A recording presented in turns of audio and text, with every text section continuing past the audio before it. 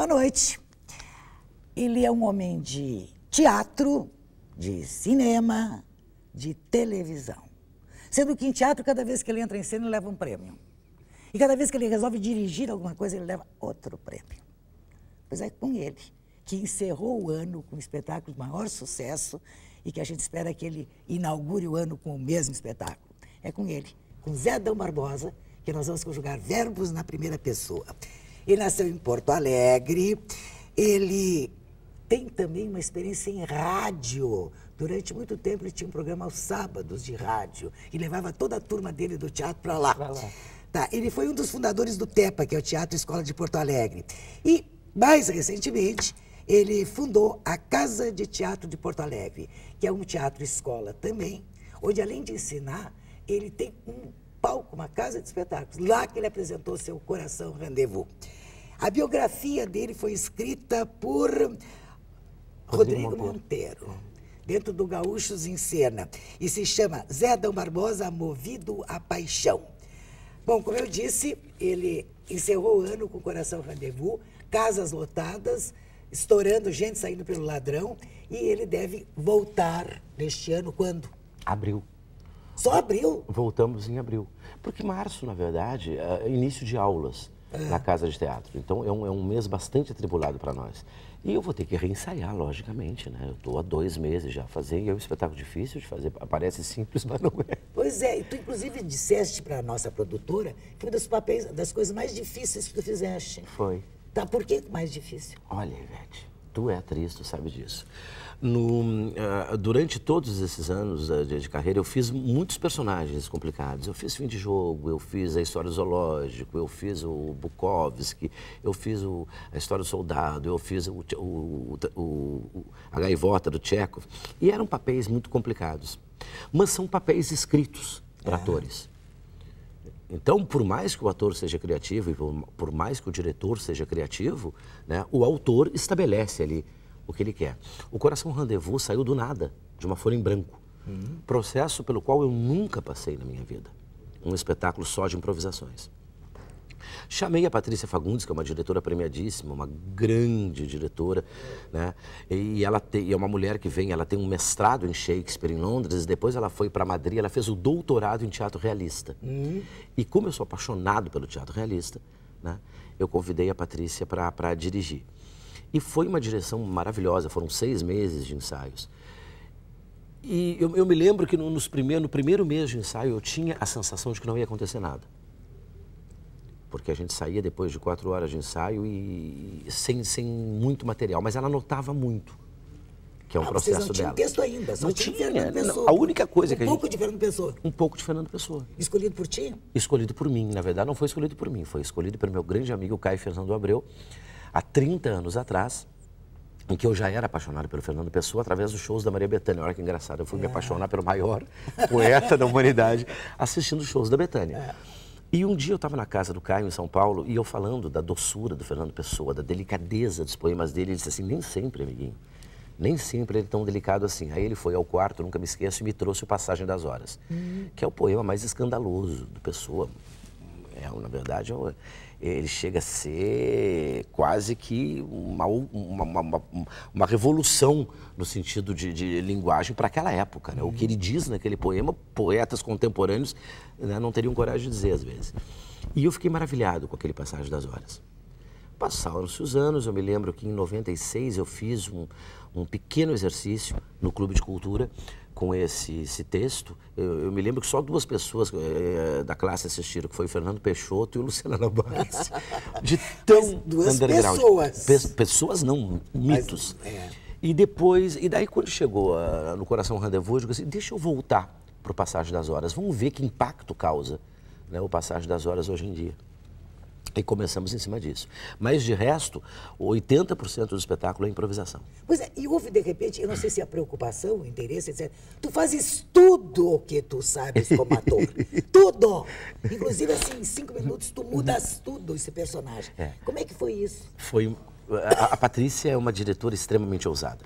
E ela me propunha, ela, ela, propunha coisas que eu dizia, mas Patrícia, eu não sei se eu tenho idade para isso. Aquelas cenas do casaco em que eu dou giro e troco de casaco, eu dou texto e, e me jogo no chão. Eu e, texto desse tamanho que é, tu fazes 80 E coisas. ela dizia, vamos ver o que que dá. E eu me lembro da, da, do momento mais difícil do espetáculo, que é o início, em que eu estou sentado numa cadeira com os braços absolutamente parados, que para ti que me conhece é um sacrifício horroroso, porque eu sou um, né, um moinho. E, e ela me disse: esse texto, que é um dos textos mais emocionantes, tu não vai mover um músculo, só o rosto e a emoção contida. Ali começou a primeira dificuldade, né? Hum. Não ter movimento, não poder usar o gesto, não poder usar. E a partir dali ela veio propondo aquela cena que a gente chama o ator pirou, né? Nos ensaios a gente dizia o ator pirou e começou a repetir o texto em vários. Aí eu vou do melodrama, vou na tragédia grega, vou na comédia, vou no bang bang, faço girosurf, faço escola de samba, aquela coisa toda. E ela ia propondo, e tudo que ela ia propondo eu achava um absurdo para mim. Uhum. Porque eu nunca tinha feito também. Então é claro que a gente tem. O ator sempre tem medo, né? O ator não pode perder o medo. O dia que ele perdeu o medo. Muito, até hoje. Hum. Frio da barriga, é, frio, dor na barriga, enjoo, sabe? Sempre acho que vou esquecer o início da, da peça. Hum. Então eu fico no camarim maquiando e repetindo as primeiras falas. Uma bobagem, porque é óbvio que não vai esquecer. Em algum momento da vida tu tivesse branco? Muitos. Aí, aí? Tive. Tive. Aí improvisa. Improvisa, improvisa, improvisa. Graças a Deus nunca me deu branco total, assim, de ficar sem ação. Improviso, eu vou em, em cima de algum algum artifício que dê para salvar a situação. No próprio Coração Rendezvous, um dia eu tive um branco. E ela foi propondo e eu fui aos poucos aceitando. E quando eu vi, né, já tinha um espetáculo formado com coisas que eu nunca tinha feito na vida. Né? E com o público em cima de ti. Porque tu fazes lá na casa de teatro. É isso é o mais difícil. Num espaço pequeno.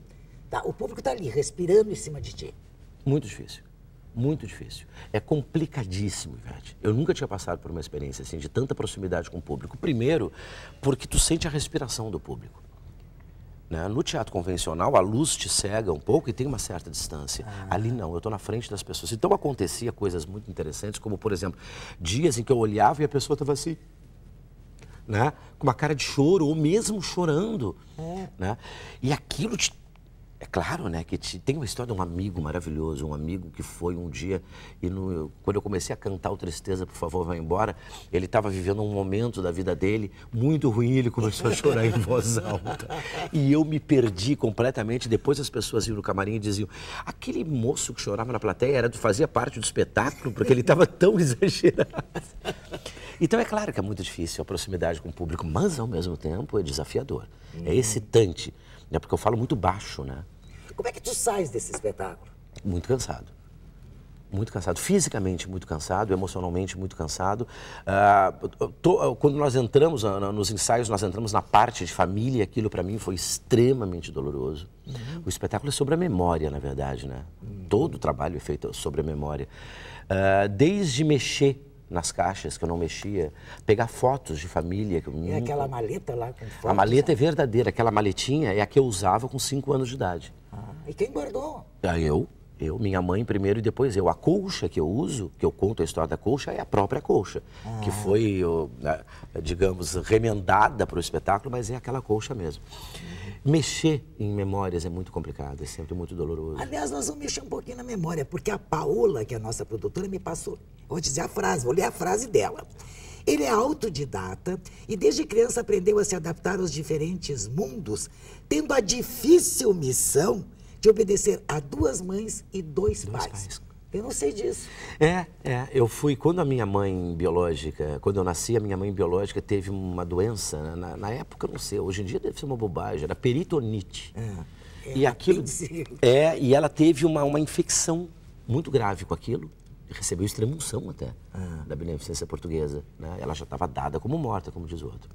Antes, né, como ela estava muito ruim, o meu pai pediu para a irmã mais velha dele me criar. A tia. A minha tia, que acabou virando a minha segunda mãe. Uh, com um ano de idade, eu fui para Jaguarão.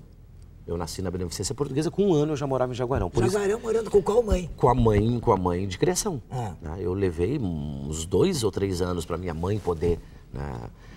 E, e, Por isso que eu digo que Jaguarão é minha cidade natal, porque para mim a cidade natal é onde tu, tu aprende a caminhar, a falar, a estudar. Então Jaguarão é a minha cidade. Mas passaram-se os dois, três anos, a minha mãe se recuperou e quem disse que a outra queria entregar? Ah.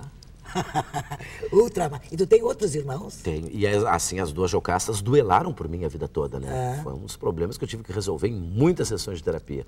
As minhas duas jocastas. Uma jocasta já é complicada, imagina duas. Uh, por parte de, eh, dos pais biológicos, eu tenho mais seis irmãos. É. Eu comecei a conviver apenas com 12 anos de idade.